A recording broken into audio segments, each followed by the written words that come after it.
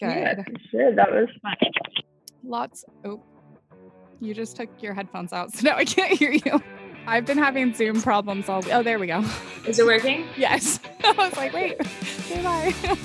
Currently ranked in the top 35 on the WTA tour in doubles. Welcome to Talk Tennis, Hayley Carter. Thanks for joining me today. Thanks for having me, guys. I'm excited to be here.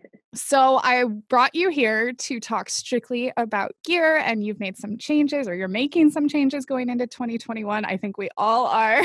but I first want to do a quick recap on 2020.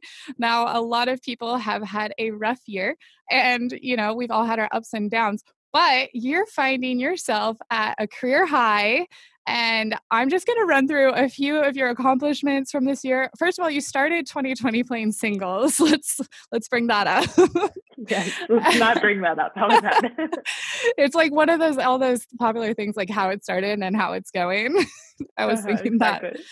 that. Um, made it to the round of 16 in Australia with Luisa Stefani, who you played with throughout the year, except for one tournament, I think. Um, you guys won the Newport Oracle, which was also in January. Moving forward, you got to the quarters of the US Open, round of 16 at Roland Garros. You guys won Lexington. You played team tennis. You made it to the finals in Strasbourg. You made it to the semis in Rome. You guys have had an amazing year. It's been so fun to watch you. Give me like a little quick roundup of how it was for you. Yeah, it sounds much cooler when you say it than when I think about it. Um, yeah, I think uh, honestly, it's weird because, like you said, we had our most successful year. I had my most successful year of my career, but it's at a time when the world's obviously struggling. So it's it's kind of finding the balance of that, and and at the same time, I think all of us as tennis players are struggling a bit, uh, just adjusting to the new changes and and everything we're going through off the court and yeah. and with the world as well.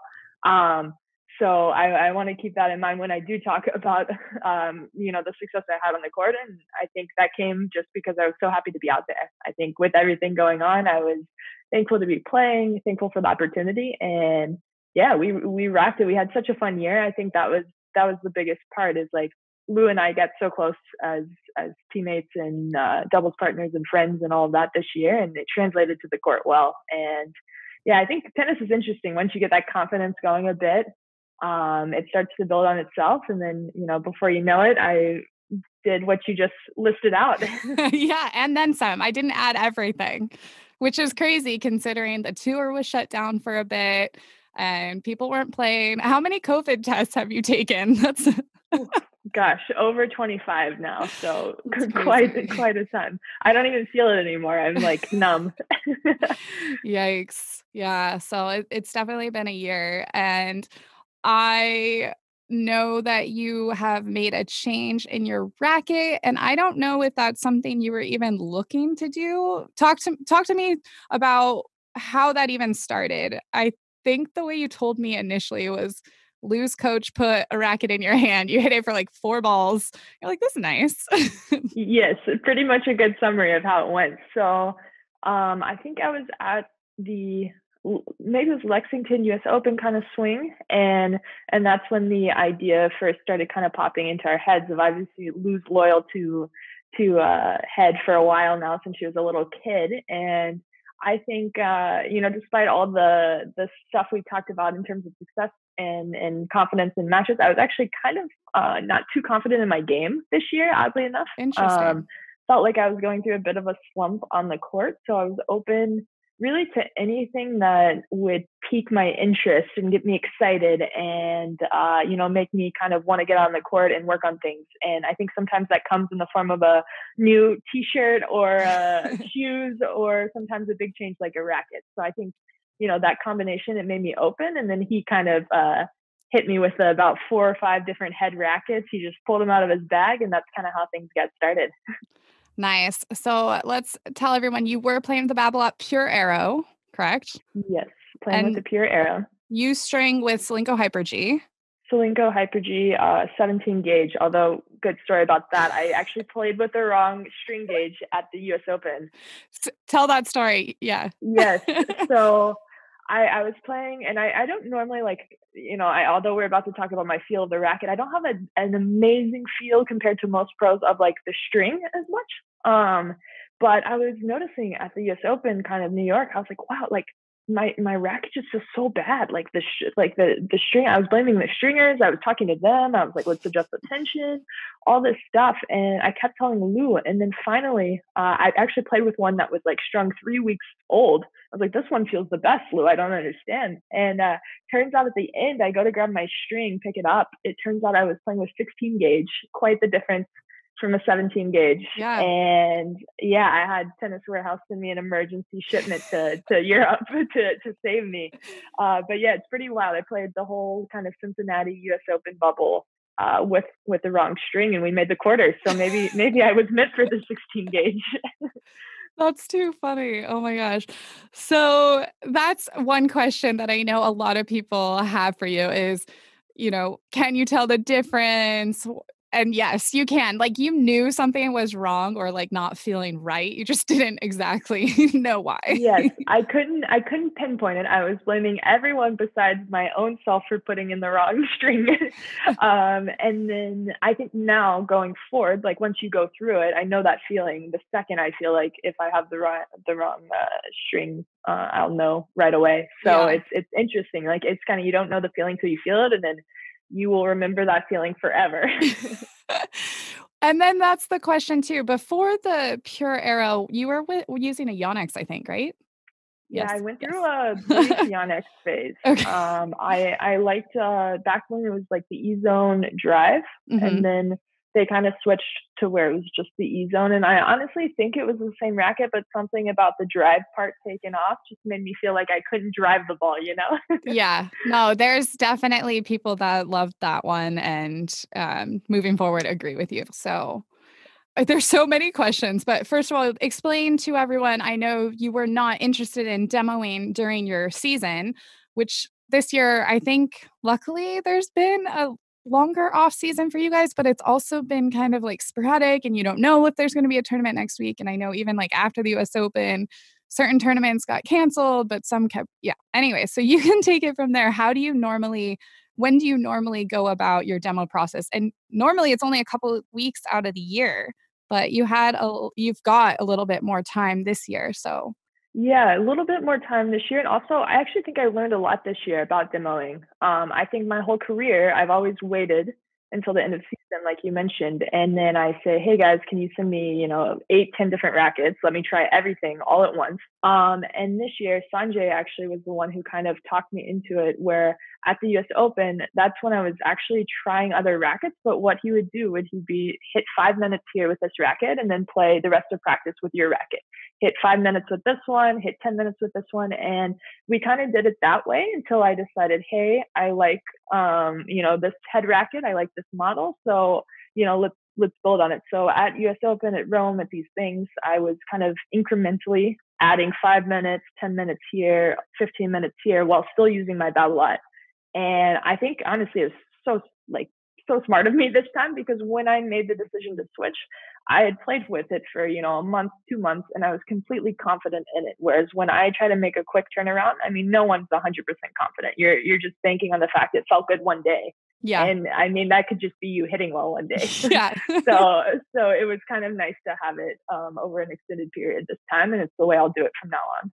Nice. And I like that too, because if you really like something and you're limited, you're kind of like, oh, I can't wait to hit with that racket again. I know, I know. You just pull it out and you feel cool, especially this one. It looks so pretty. And I'm like, yeah. yeah, yeah. okay. So, what you said that you weren't feeling super confident in your game. What did you think you were looking to change with your racket? Were there certain specs or were you trying to, you know, was there something specific that you thought you needed to change with the gear or you just knew you needed to like change the way you it felt in your hands both okay, okay. so i think i think i would start with saying i was open to wanting to change it change just the feeling of it so i think that's the first step just knowing you're open to a change because if, if you're not then it's not even worth looking at specs or anything like that um, after that i knew for me i wasn't very confident with a lot of my game except for my volleys. I was very, very confident in my volleys, confident in my returns, confident in certain aspects that I didn't think my racket was maximizing. Um, and I have a coach here in Tennessee, and, and most coaches will tell you this you pick a racket based on your strengths.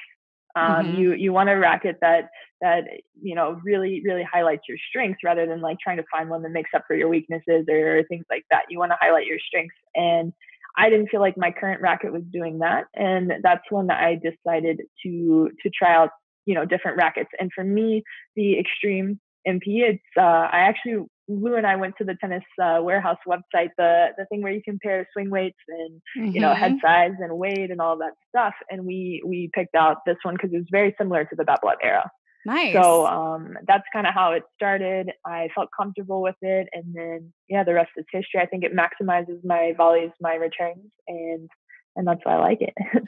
Awesome. That's what I was just doing is pulling them up to compare them side by side because they're really it's not a huge dramatic it's difference. remarkably similar. You would think it was some like uh, they just went to the same factory and came out a different color.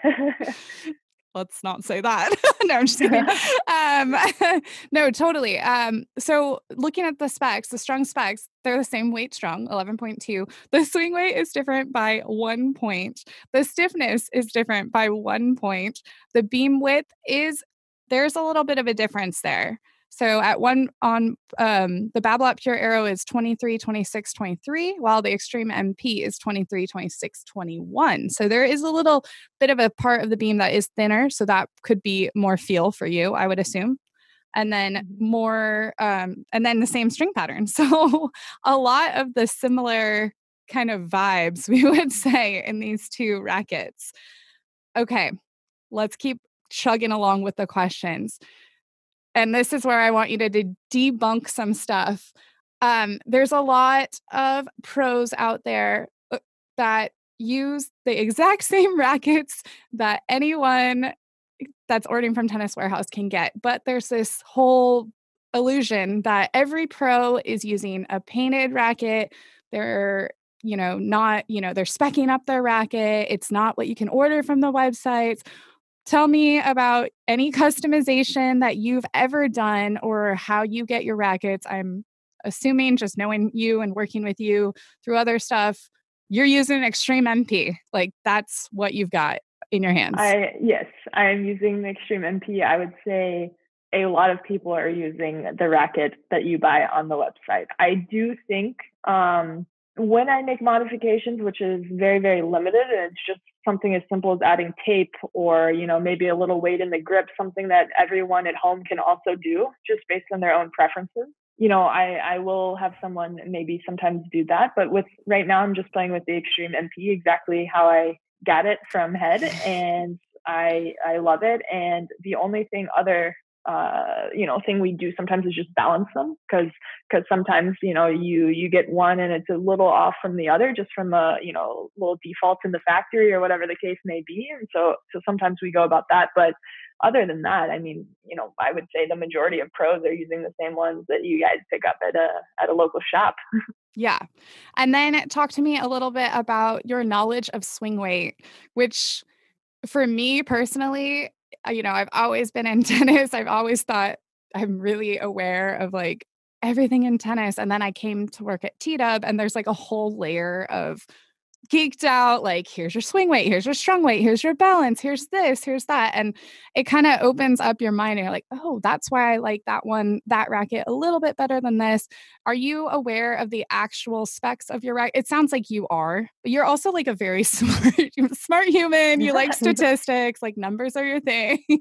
So yes numbers numbers are my thing um i definitely look at it i definitely consider it um I would say I honestly might be a bit less than some of the other pros on tour in terms of it. I think for me, I'm a big uh, feeling person. Like, I mean, it sums up in my year how I said I was a bit low in confidence in, you know, supposedly supposed to be my most confident year. It's because I'm a feeling person and I have to feel good. And so for me, uh, you can put any number by it, and I have to kind of feel that sensation of the difference. And so I'm I'm more of that way. But Lou, on the other hand, my doubles partner, she is opposite. She knows her exact swing weight. Uh, will you know maybe sometimes add weight here or there to to adjust the swing weight. Uh, so she's very in tune with that. Where I'm a little more chill and a little more go with the flow, and I just want to feel it go through the air. nice. So then, a lot of people want to know how many rackets do you start your season with, and are they all matched, or are some slightly heavier, slightly light, lighter, swing faster, swing slower? Oh, actually, good question. That's uh, something I actually have never even considered in terms of changing it, uh, having some heavier, some some less heavy. So you can that that gives you the there answer you right there. All of them are the same. Uh, all of them the same. I'm gonna you know make sure to get them balanced before Australia, and that's kind of uh, what I'm, I'm, going with. I have uh, only six rackets right now, but kind of plan to get six new kind of throughout the course of the year. So hopefully, you know, six now, maybe six mid-season, six at the end, kind of going um, that route this time instead of getting, you know, 12 at once, like I kind of sometimes have typically done in the past. Uh, so just trying to kind of get it because I actually was playing with that Babolat for ages. I didn't yeah. even realize it, you know, how long I had had it and, you know, little cracks here and there and it just from, you know, old oldness. so kind of this year I'm uh, focusing on, you know, starting and then hey let's revamp it. Let's get a new one fresh stick out there. Awesome and then someone was asking also can you feel the rackets getting older? It might be tough because now it's like what you're used to but like you're saying you've had those Pure Aeros for a while. Do you have you noticed anything like a change? Yeah i think i think you can and uh, similarly it's a bit tricky unless you know the feeling and you know kind of what a new one is. So i think my suggestion would be to anyone who thinks hey, maybe it's starting to feel old would be to go demo a new one right away and like just compare same racket, same string, same tension, everything. And you can notice the difference in just like how the ball flies. I think a new racket, it's just got that pop, it's got all of that, yeah. and it just kind of starts to, to die on you as it gets older. Yeah. New a new racket with new strings and a new grip is like Christmas Day for a tennis player. Exactly. it is the most beautiful time of the year.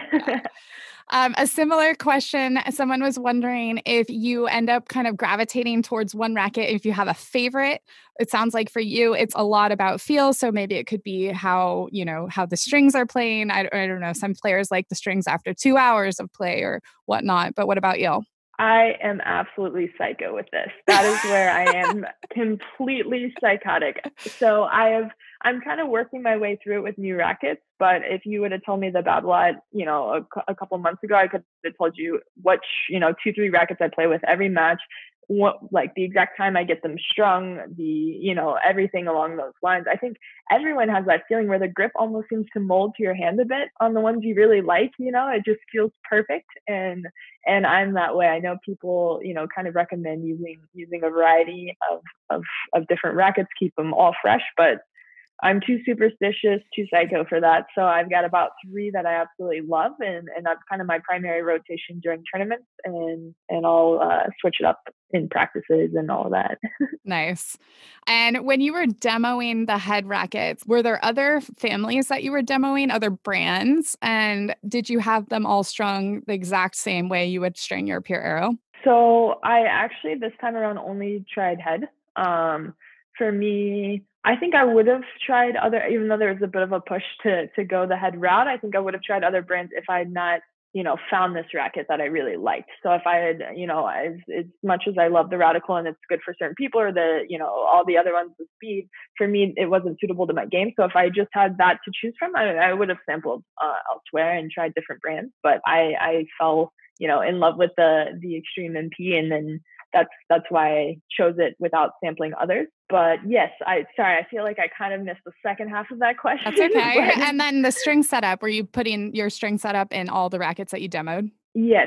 So uh, string setup was the same initially on all of them, and then from that initial feel, sometimes I adjusted. So for me, the MP actually string a bit tighter than I did my Aero, and uh, I don't know if that's the product of the racket itself or the pro- product of the fact my Babolat was a bit dead and a bit older and maybe needed a bit of looser string to get that same pop. So I can't speak to that, but uh, I do string it a bit tighter with the MP. Okay. And then I have to ask is has Lou tried the new radical? I don't know if you know, but I actually don't know. I'm sure okay. she has though. I know she's in Brazil uh, right now and I'm sure she's tried she's tried the new one. Uh, but it's beautiful so. too. They yeah. they're doing the great paint job. I really like that racket. And then I also have to ask did Head try to get you into some new strings because the Lynx tour string for some, I also like Solinco. I like Hyper G. I actually really like Hyper G Soft now because I don't need all the stiffness. But Lynx Tour is also a favorite. And have you tried that yeah. string? you were you were mentioning that, um, and so I, I have tried it, and I uh, tried one other head string that I'm kind of blanking on. It's gray. Um, so I tried those two in it. Okay. And um, for me, I think I'm I'm just a bit of a Solinco loyalist at this point. I've been playing with Solinco string with my Yonex, with my Babolat, and now with my head. So uh, for me, it's it's just my favorite string for some for some reason. I feel like I get the pop the spin, you know, everything. And I do want to try the soft. That's something I've been talking to Norman and the guys about. Is I I really want to try the soft because my arm's a mess you know 99% of the year. So i need i need a little relief there. Yeah. um, but yeah i'm a Solinco person. I string it as low intention as i can uh, while still making the ball in the court is basically kind of my my assessment of it. I had a coach tell me that once. I put a rubber band on it, uh, you know, like as my vibration dampener, old school, and yeah. he told me keep keep dropping it until you can, you know, swing all out and make it in the court. Um, and and that's kind of what I I go by. so where where does that bring you right now on the Extreme MP? Yeah, Extreme MP, I'm at 40, between 49 and like sometimes even 50, pushing 50 plus, you know, which is a little wild for me. Uh, with the, with the Babolat, I was all the way down, you know, between sometimes like, I would say 47 was my most. Holy crap. I know. I know. That's why I have the backhand bunt. I can't, I can't, no.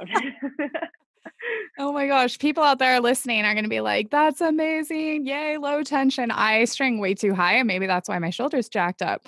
But yeah, I, I, I, wish I could string high. If I strung high, I don't think I would crack an egg. I can't, I don't have that natural pace. So I gotta, I gotta help myself out a little bit. Oh, no way. But uh, Hyper G Soft, um, I don't know if Solinco would want me want to hear this, but for me, I am not the best at restringing rackets. So I had one of my rackets strung with regular Hyper G and it had sat in there. I mean, I'd played it, but it was at least three weeks old, maybe four, probably, maybe five.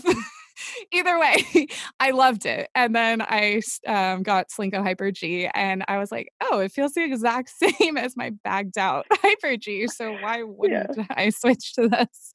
But yeah. yeah, exactly. No, I'm uh, I'm actually too. Um, I know I mentioned a little. I'm OCD with my with my stringing, but I am a bit bad with it as well. Actually, it's something I'm trying to improve on. Luz actually talked to me about it because she's very before every match she's stringing three rackets. I'm the type of person that I'm like, okay, it costs, you know, 25 bucks a pop here. If you're at the French Open, it's like close to $40 to string your racket. So I'm like, okay, I'm going to string one and we're going to see how this goes.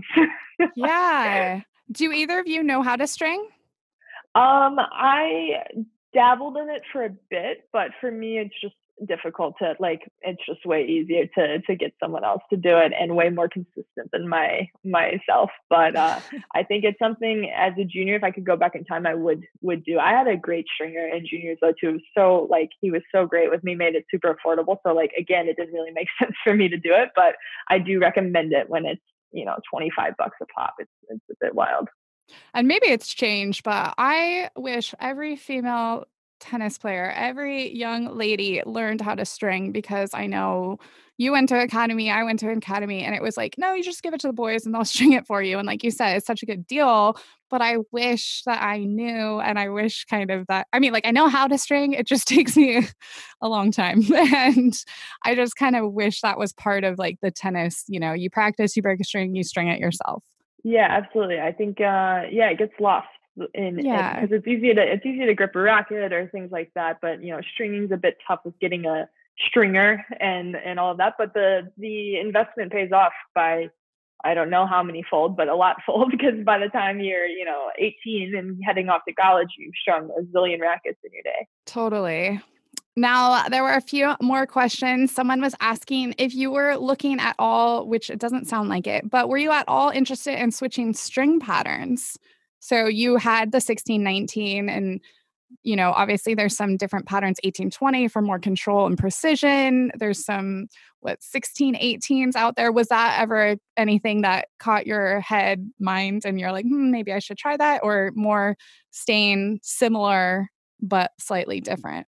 Yeah, I think uh, for me it was it was staying similar. I think like earlier in my career, I did consider it. Um, I'm at the point now where I think I know kind of the string pattern I like, and and I know when it is a tighter string pattern. For me, it's similar to having tighter tension. Like it does give you that more control, but I just don't like the feel of it. I like I like the looseness. I like the bowing. It's just how I how I operate. It's uh, how I feel best coming off my racket. So I'm I'm better with a.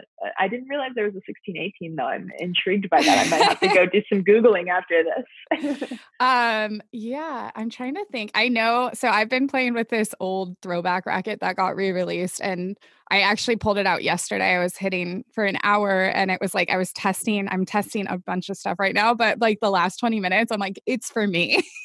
so it's a 16, 18, but like it's a really controlled um, middle of the racket. So like the it's tighter tighter strings in the middle. So your sweet spot's like a more controlled feel, but then it opens up as it on it on the way out. And I think it's a 98 square inch head.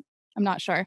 But yeah, and then the same question with head size. Were you ever considering because I think one of the MPs might actually have a smaller head and maybe you tested it um, or one of the extremes might have a smaller head size, but um, was that something you looked at? Because I is there one that has a 98? I think.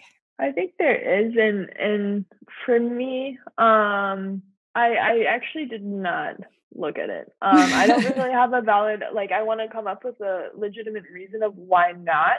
Um, yeah. but I I just don't have one. I didn't. I I stuck with the the hundred. I think it's just kind of for me, I didn't even think about it because I think I just notice it in my hand when I'm taking. Because I don't know if you've seen me play, so I'm gonna do a little. I I hold my my racket like this, so that is where the thickness does come into play. I do like it kind of uh, the feel. I notice a difference, but I hold it like that when I take my forehand back, so I kind of can can pick up on that just from a feel standpoint pretty quick.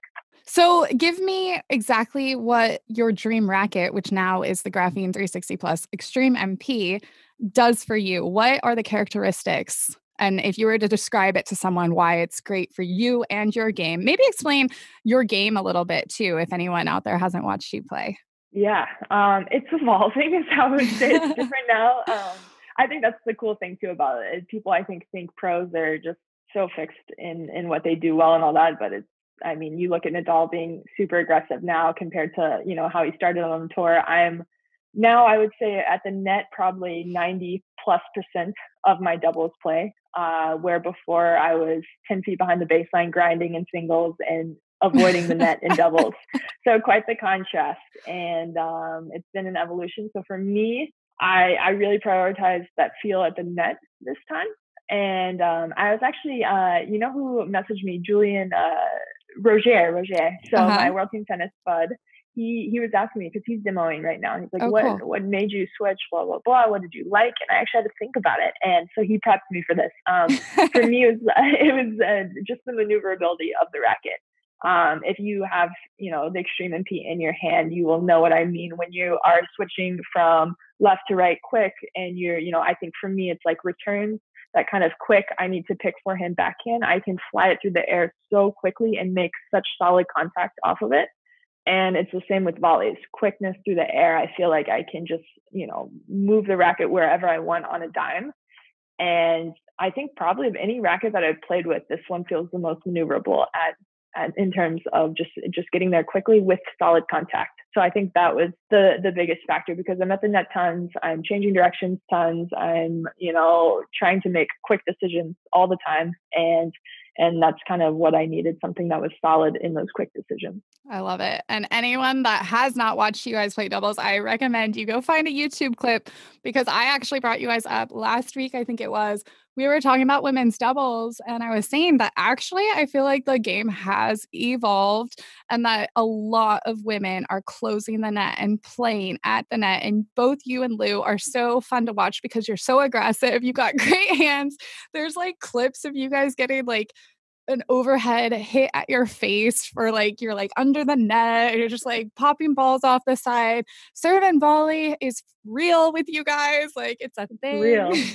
Yeah like, even when i'm serving five miles an hour it's real um that's always but, a uh, fun uh, conversation too because I think people expect you to bomb big serves, but like you've got such great movement on your serves, which I think is actually harder for most people to return than a big flat first serve that they see every day. Yeah, I think um, I, I have a ton of spin on it, a ton of movement. Um, I think I, I back in the day I was more of the bomb server back in college, and then I went through some injuries, and then had some nerve issues in my shoulder this year with my arm. So I feel like I like lost complete control of my arm, and it was that's that's where a lot of the the issues this year came from in terms of that confidence. Um, but yeah, so I think uh, yeah, we we crashed the net. It's it's my thing. I think for me, what I found so interesting about doubles is how strategy based it is.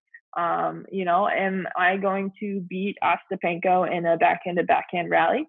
Probably not. You know, I'm I'm not. So I have to I have to recognize where I have my strengths and, and that's at the net where I can make people uncomfortable, where I can, you know, make people that are the best in the world in singles you know feel like they they are you know worried about what i'm doing. So mm-hmm. that's where we we try to make people uncomfortable and we do a lot of random stuff a lot of crashing a lot of chip lobs a lot of slices uh, you don't know. I mean i don't even know what i'm going to do half the time so that's kind of what to expect with us so it's, it's a bunch of fun and, and i like to think we have some some entertaining points out of it A hundred percent. It's been fun watching this year.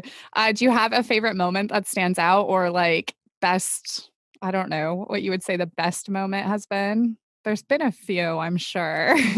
Good question. I think um maybe maybe this is a product once again of me me with with my mental state, but I love the beginning of the year. So I think for me, Australian Open, I think was the coolest moment. Uh, we beat the nine seeds the first round, and I think for me that was the most special because we actually lost our first two matches of the year. So I think when you start out 0 for 2, you're kind of second guessing yourself, second guessing everything, and then you beat the nine seeds uh, with a reasonably like comfortable score, not you know, um, and like feeling confident in it. And then we proceeded to make it to the round of 16 after not even playing a Grand Slam together. I think that stands out to me as like the moment I think we recognize like, hey, um, this is this is could be pretty special, and and from there we built on it. Um, and then I think Pliskovas, we beat the Pliskovas in cool. Dubai.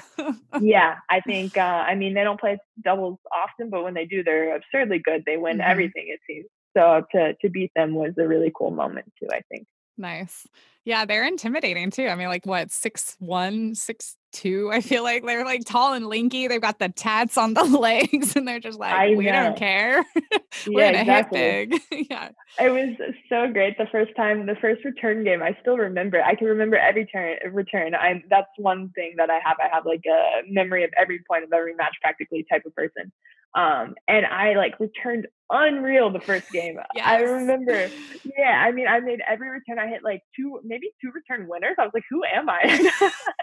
like, what is happening? Please let this last forever. right? That's awesome. So cool.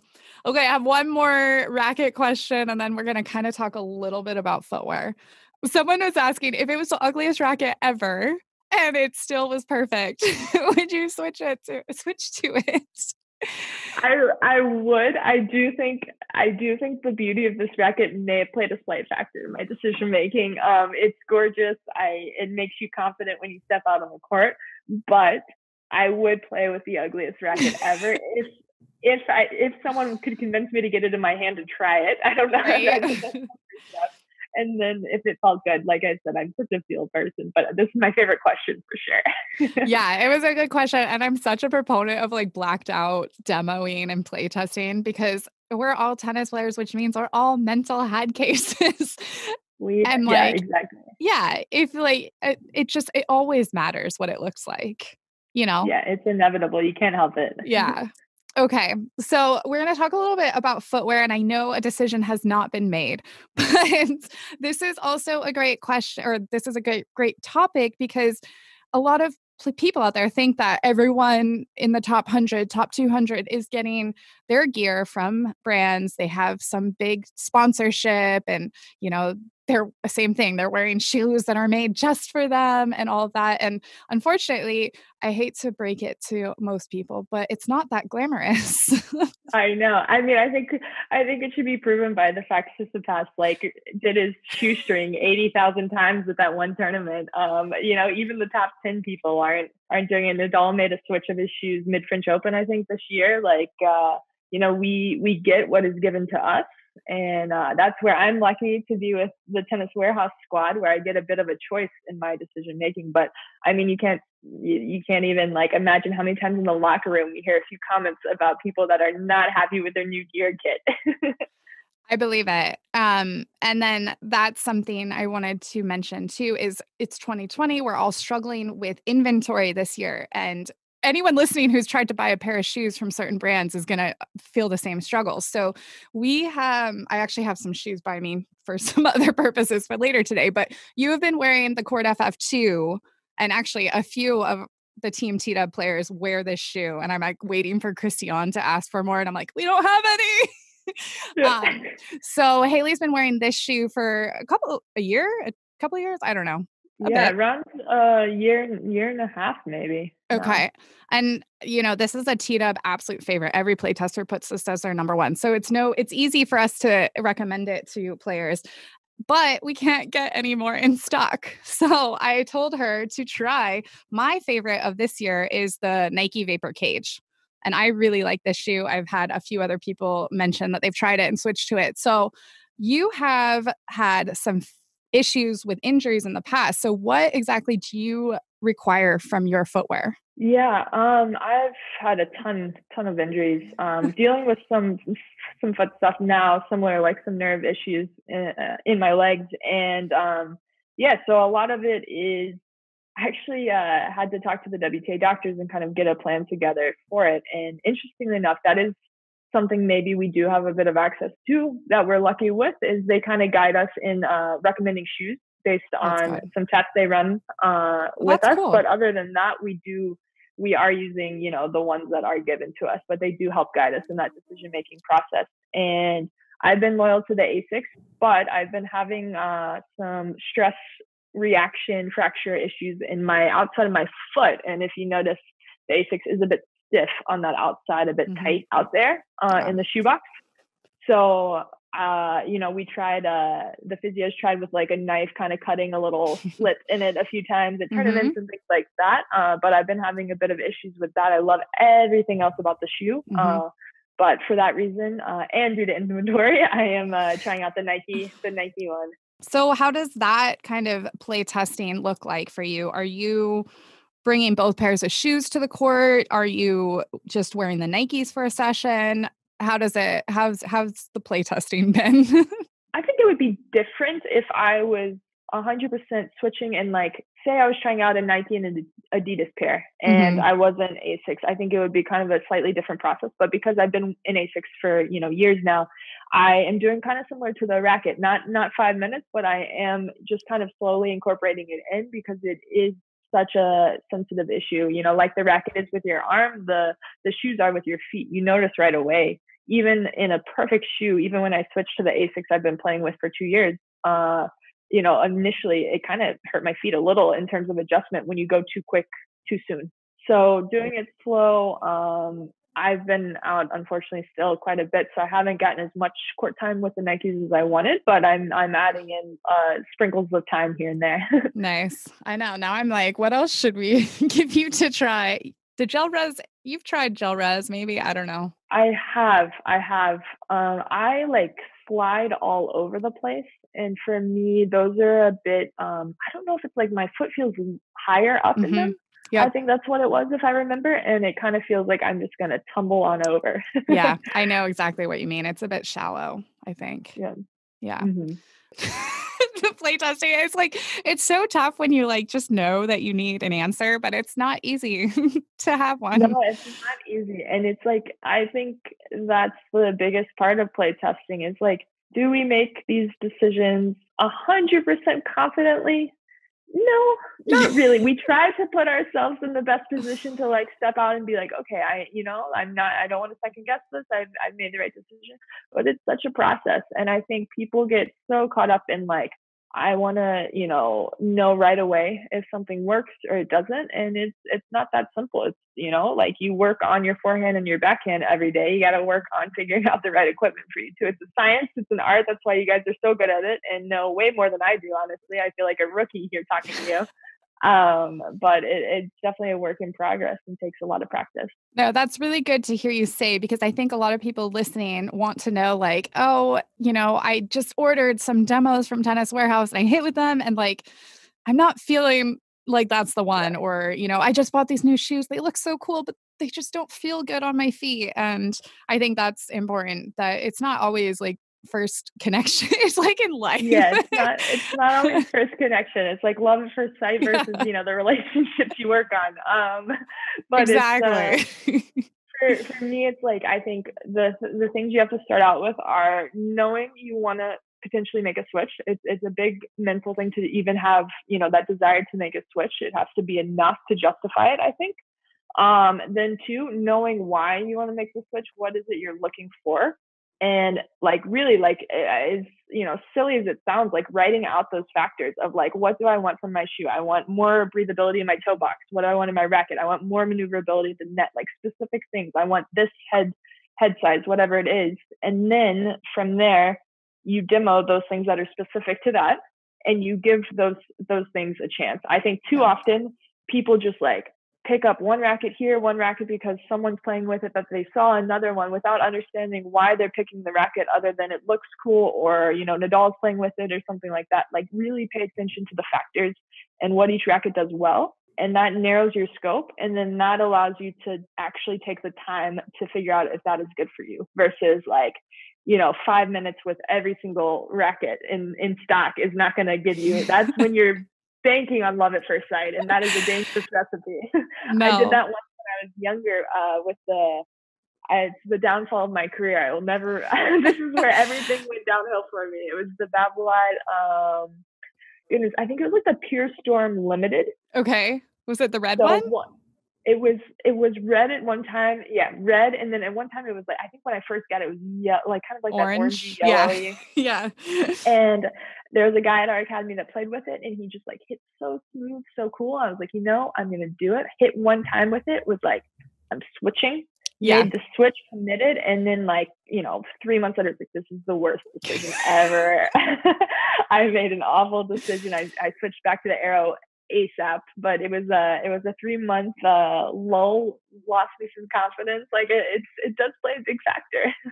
yeah, you actually bring up something interesting because I think a lot of people like what they like, and sometimes maybe you feel like, oh my God, yeah, I like a pure driver, I like the Pure Aero, but everyone gives me crap for it. But like, if that's what you love, just stick with it. Like, it's okay. You don't want a, you don't like a flexible racket, then don't hit with a flexible racket. It's not, it's exactly. not the end of the yeah. world.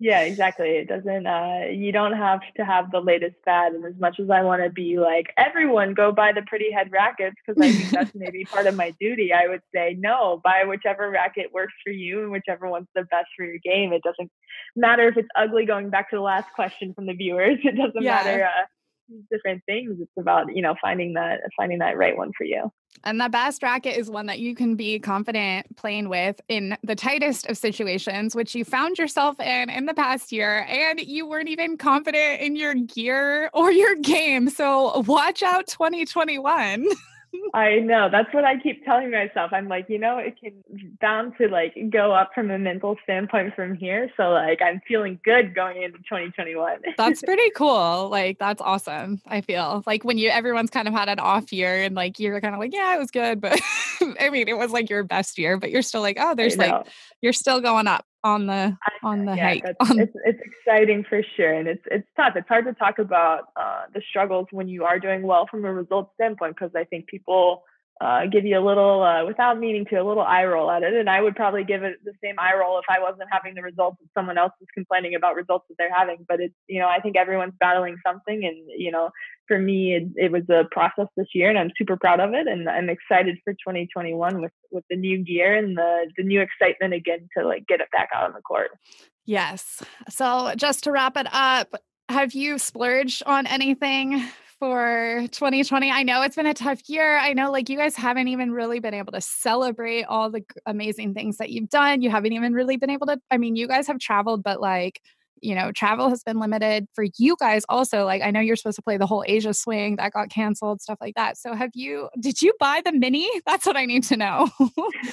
I didn't buy the Mini Cooper, but I'm considering it. So, I actually have two answers to this. First is the quick one of I just got myself a Garmin uh, Forerunner, like the, yeah, I got myself the music, like, fancy yes. one. I went, I went all out with it because I, hate running. I hate I, all the viewers. You think pro tennis players love this fitness stuff? No, I am not one of them. I you can't catch me dead like entering a gym. So I got this to excite myself for for gym workouts. So that's my recent splurge. But I have a little funny quick story of uh, I never spin on myself. I never splurge. I'm, you know, that way. And after Aussie, I was like, Aussie, and then we won the 125. I was like, you know, I'm at Indian Wells. I'm gonna buy myself a new iPhone and AirPods Pro that I'm I'm using now. Like I'm just gonna splurge. Like I'm here, I deserve it. Buy it. Next day, tournament canceled. Next, you know, within three days, Miami canceled. Within a week, six weeks off. You know, then it's three months, and I'm like, this is my punishment for treating myself. I buy one thing, and the tour gets shut down for three three months. We're blaming uh, you. yeah, no, it's all my fault, guys. so yeah, I, uh, those are really my only my only splurges. I probably need a new laptop, but I'm the person that's like, I'm gonna wait till it breaks. Uh, so this sounds similar. I'm very similar to you. I don't splurge too often. I actually had my eye on a new car for next year. Um, also, so that's exciting. Yeah. But I mean, we we talked about how I sometimes don't stream my racket because it's twenty five dollars a pop. So I think that's your answer to the splurging question. yeah. Well, you got to treat yourself, girl. yeah, exactly. get get something for Christmas. But I am curious to hear your feedback on the Garmin. I'm actually thinking about upgrading myself because Mine's a couple years old. It was just a little bit slower. And like those new ones, I don't know if you got the Fenix, but like those ones look so awesome. And they have like settings for every sport and yoga and Oh nice. You should have told me this prior to me getting a different type of Garmin watch. I got the four the Forerunner like 645 music okay. one or like okay. That. So like I'm big with the music. I need to have it downloaded and I want to run without my phone type of person. Um, if I make it to run. I was gonna say, and, so are we running now? yeah, we're running buddies. Nice. It's official. It's been it's been deemed official in this moment. I've got to get a 5K in later today. So if you're up for a yeah. challenge, let's go. let's do it. yeah. Awesome. Well, super excited about 2021. I'm not even gonna ask what it holds because at this point we're not sure. The Australian Open was pushed back. We're not sure. I mean, you might know more than I do probably, but I'm just going to let it be. It's not in our control. So we're just going to be excited for the year to come and keep kicking ass on the court. And now you've got a new beautiful racket out there and you're awesome. It kind of matches our shirts. I'm not gonna lie. The, the gray. Know, wait, it's I, gonna fade into. it. Oh, it does. Maybe that's why I love this shirt too. There you go. And uh, if anyone has any questions for Hayley, feel free to reach out and email us at podcast at tennis-warehouse.com. Where can they follow you? You've been upping your social game. That's another I thing. Have been, I have been upping my social media game. I took a social media grad course this semester, so it's part of my project actually so a bit forced, but now I kind of like it. Um, but at Hayley in Carter on Instagram, that's that's really the only one you can find me on now. I deleted my Twitter. I went off the grid a bit. Um, but uh, yeah, feel free to shoot me a message too. Like I, off season for me, I've been actually very responsive to a lot of people have been sending me questions now. Now that I've upped to my social media game, and I'll I respond to close to 100% of them. So feel free to shoot me a message anytime about really anything tennis related and I'm always down to talk tennis. awesome. And she always has beautiful views no matter where she is in the world and then she's always got great coffee spots and Yes. yeah and then once her and lou are back together and traveling it's it's a fun little combo because Hayley's like, oh, don't t- don't make me go to the gym, and Lou's like doing sprints on the beach yesterday. I know we are such a great contrast. It's what makes us successful. I love it. I love it. Well, thanks so much for talking to us and giving all your feedback on your playtesting and all of that. We really appreciate it, and wishing you nothing but the best for 2021. Thank you guys so much. I'm excited to, to get started. Yay. Happy hitting. Yay. Yay. I never know how to like end these things.